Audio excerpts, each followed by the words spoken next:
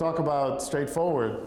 Uh, there's really uh, almost nothing here to talk about. Typography is great. It's Futura, which is a great typeface based in geometry, but creating a logo works on that continuum between something that's super simple and something that's very memorable. So in some way, the more simple you make it, you run the risk of making it look generic. I wish that they took one more step and made something about this unusual, something about this that's original, because otherwise it's just boring.